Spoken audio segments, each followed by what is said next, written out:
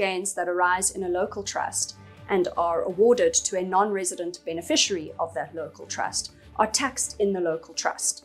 There's no such similar provisions for income that is earned by the local trust and is awarded to a non resident beneficiary during the same year of assessment.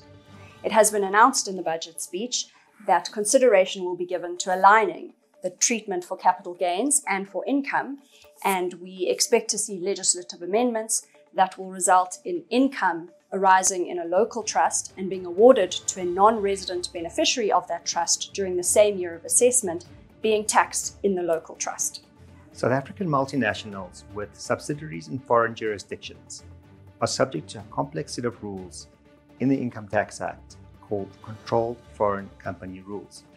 Part of these rules provide that any income earned in that foreign jurisdiction by that subsidiary must be imputed back to the resident in South Africa, on which they then are subject to tax.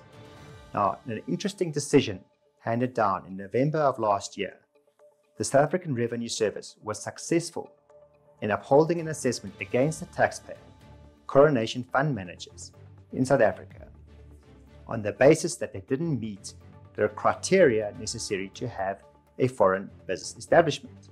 The key issue in that particular decision was the fact that certain functions had been outsourced to a different entity within the group in a different jurisdiction and therefore didn't actually have the substance necessary in that particular country. The country in question was Ireland.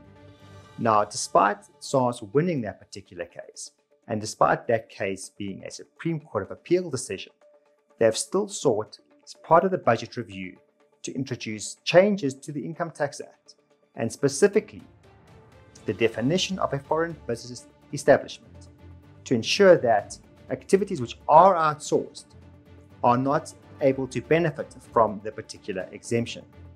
It'll be interesting to see how these changes are brought about and implemented in the coming year. So, the FATF is the Financial Action Task Force. It is an intergovernmental policy making body that's sponsored by the G20 and, in particular, the G7 within the G20. And it seeks to encourage countries to improve their anti money laundering laws and of course, money laundering includes tax evasion. So there is a tax link to this. Um, the FATF encourages countries to do peer reviews of each other. South Africa was a founder member of the FATF. Uh, South Africa has never been peer reviewed in all existence of the FATF. And last year we were peer reviewed for the first time. And shockingly, over a hundred deficiencies were identified in our anti-money laundering rules. These deficiencies were substantive in the sense that um, they included deficiencies in legislation, as well as deficiencies in government departments and organizations not policing the laws that we already have. So, in other words, we had too few laws or insufficient laws, and those laws that we had weren't policed properly. So, I think the the one item that everybody was expecting and was looking forward to was the relief for renewable energy expenses. Um, and the relief that came through in the budget um, was really impressive for businesses, but not so for, for natural persons. Businesses will be able to claim 125% of their expense on renewable energy, um, and they can claim it immediately in the same tax year. Um, natural persons can only claim a maximum of 15,000 Rand. And if one keep in mind the cost of these um, installations, then it is really not sufficient as an incentive. Uh, you will have heard from Dooley about the uh, uh, incentives given for solar. But here's a bit of a, an interesting fact, um, a rather intriguing fact for, for individuals, um, you won't be getting a tax deduction. You'll be actually getting a reduction of your tax liability equal to 25% of the cost of the solar up to a maximum of 15,000 Rand. But it's being made very clear that the, the, the, it's limited to the cost of the solar panels only, not the inverter and not the battery. Um, and here's a bit of an intriguing question. In South Africa, we use alternating current. Solar panels produce direct current. If you don't have an inverter, those solar panels will just look good and help you keep up with the Joneses, but they're not going to produce electricity. So, how they could have excluded the word inverter is uh, a, a, bit of a mystery. Um, one of the other announcements was the extension and improvement of the research and development allowance. For those of you who have um, experienced the joy in trying to apply for approval to get uh, the R&D allowance, you'll notice you'll have noticed uh, that there are, there are, a number of hurdles to uh, to be overcome. Um, they have indicated that they're going to make it uh, user friend, more user friendly in certain circumstances. And the other good news is they're extending it for another 10 years.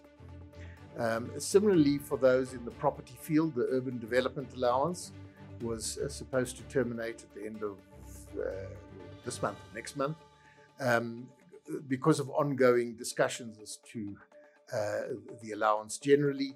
They've extended it for two years until they come to a final uh, conclusion on it. The Income Tax Act contains special provisions which find application where a non-resident company becomes a South African resident company.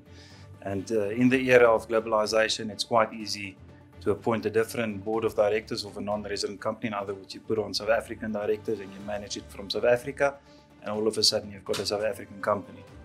So what these provisions do is twofold. Firstly, they deem the non-resident company, which is now South African resident company, to have obtained a step up in the base cost of its worldwide assets up to the market value of those assets. That's step one. Step two is that the contributed tax capital of this new immigrant company is stepped up to the market value of the shares in that company. So there is apparently a perceived abuse We've got a multi-tiered structure. The example given um, in the budget review is a three-tiered structure. We've got a non-resident holding company which holds all of the shares in a non-resident intermediary company which in turn holds shares in various South African subsidiaries. And the perceived abuse is that that non-resident intermediary company becomes a South African tax resident and therefore it obtains a step up in the base cost of its worldwide assets as well as in the CTC. What then happens is that the operating profits of these valuable operating companies are distributed up to the intermediary holding company, and that intermediary holding company then uses its step up CTC to return those profits on a tax free basis up to its non resident uh, shareholder. So there's apparently some amendments that will be forthcoming in the new legislative cycle, which will be aimed at curbing this perceived abuse. In this year's budget, we've also seen uh, two concessions relating to fuel. The first is to keep the fuel levy uh, at the same levels that was in the last two years. So for a very minor increase in the carbon fuel levy, and SARS has also granted a diesel levy rebate to manufacturers of food products.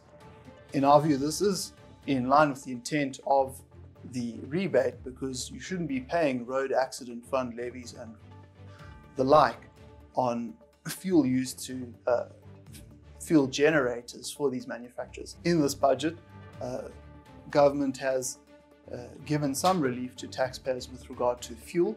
Uh, given that the fuel prices remained above 20 rand a litre, it's been decided to leave uh, the fuel levy rates where they were for the last two years, uh, except for a very minor increase in the carbon fuel levy. There's also been a concession given to uh, food product manufacturers with regard to the diesel levy rebate. Again, this is because of the uh, electricity generation crisis, and effectively it will mean that uh, these foodstuff manufacturers won't pay the uh, road accident fund levy and the like on fuel which is used to keep their operations going uh, with generators. The Minister of Finance spoke to the adoption of a strategy aimed at building a financial system that is less susceptible or vulnerable to abuses. Now, this has been characterized by the review of the current existing anti-money laundering regime and enforcement regimes. Now, this is also part of an international strategy aimed at preventing the illicit funneling of funds into terrorism. Now, since its inception in the country, it has been characterized by the close supervision of financial institutions, together with a range of other non financial businesses and professions, such as state agents or providers of crypto assets. Now, with the focus on crypto assets, this could be a signal of the encouragement of the use of crypto assets, whilst also emphasizing regulation and oversight and control over their use. Now, part of the measures adopted by the, um, by the government in the budget review include declaring crypto asset providers as accountable institutions. Secondly, oversight and regulation by the FIC. And thirdly, regulation by the South African Reserve Bank to ensure that transactions comply with the exchange control regulations. So, in the normal course, uh, individuals' tax years run from 1 March of one year to 28 Feb of the following year. This is slightly different for individuals who cease to be tax resident because they deem to have a year of assessment from 1 March up until the day before they cease to be tax resident, and then a new year of assessment from the day that they cease to be tax resident to 28 Feb of the following year. What happens is the Income Tax Act allows for a number of annual exemptions and annual exclusions that individuals can claim in each year of assessment. So what individuals were doing that be residents who now effectively had two years of assessment is that they were claiming these exemptions and exclusions twice in one 12-month period. So during 2022, there were some legislative changes um, basically the interest, the annual interest exemption was, it was made clear that you could only claim it once in a 12 month period, and the same with the annual capital gains exclusion. However, it came to government's attention that not all the provisions in the Act were remedied accordingly, and so they're now making changes just to make sure that annual exemptions and exclusions are all going to be treated the same when it comes to individuals who cease to be residents. One of the announcements in the budget speech today was that the government will be publishing its draft legislation on Pillar 2 later this year as part of its annual legislative cycle. Pillar 2 is one of a two pillar solution put together by the OECD's inclusive framework to address challenges arising from the digitalization of the economy. Werksmans attorneys keep us close.